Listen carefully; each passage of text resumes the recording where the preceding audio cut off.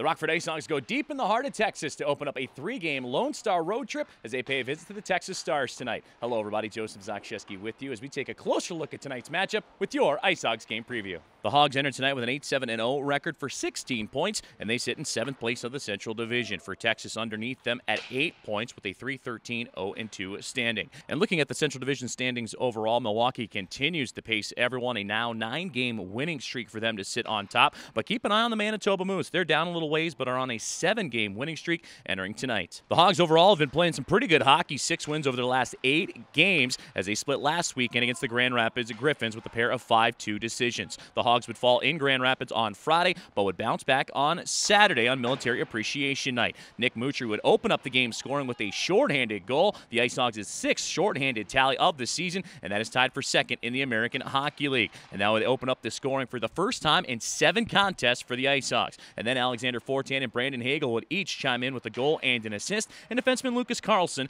would have two assists. And Kevin Lankinen, he was put to the test in goal for the Hogs. He would have a team season high 42 saves, and that'll be a career high for Mr. Lankinen.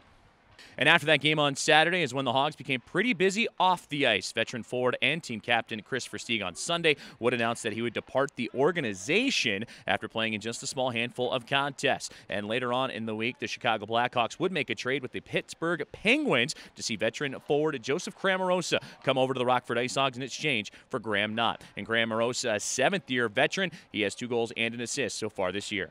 On the Texas Star side, they open up a five game homestand tonight, but have a rocky start to their year for this young team. They're currently on a 12 game winless skid and 10 game losing streak. They were in San Antonio last night, falling 4 to nothing, and now return home looking to snap the skid. And it is a very young Texas Stars roster featuring over 10 rookies on it, but there's some familiar faces as well. Former Ice Hogs Tanner Kero and Anthony Louis look to jump in against their former club here this evening. And for scoring, Emil Djuse leads the club with 10 points and 8 assists. And for goal scoring, look to Joel L'Esperance, Jason Robertson, and Michael Mersch. They each have four tallies.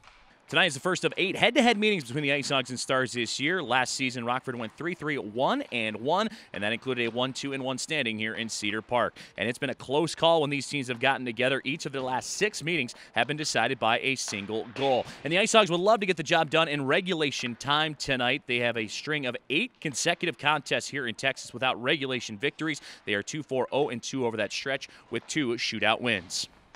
The Ice Hogs look to open up this three-game road trip through the start of Texas with a bang tonight as they take on the Texas Stars. Now, puck drops at 7 o'clock, and you can listen and watch all the action live at icehogs.com.